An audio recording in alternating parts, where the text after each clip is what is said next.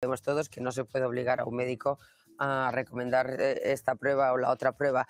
Pero bueno, de cualquier manera, usted dice, em, yo le, estoy, le está diciendo al señor Feijóo, oiga, pare usted esto. Eh, sin embargo, le pueden decir, oiga, ¿y ustedes por qué no paran la ley del sí es sí, que también eh, ha salido de su gobierno, pero es una ley que, sobre todo ha elaborado el Ministerio de Igualdad, que está causando pues 185 rebajas de pena, más las que han salido anticipadamente, y, nos preguntamos aquí, oiga, si es una ley que eh, tiene cosas buenas, pero es una ley que ha salido un churro, ¿por qué no lo cambian? ¿Por qué no lo modifican? Eh, es que estamos en la misma. ¿Por qué no lo hacen?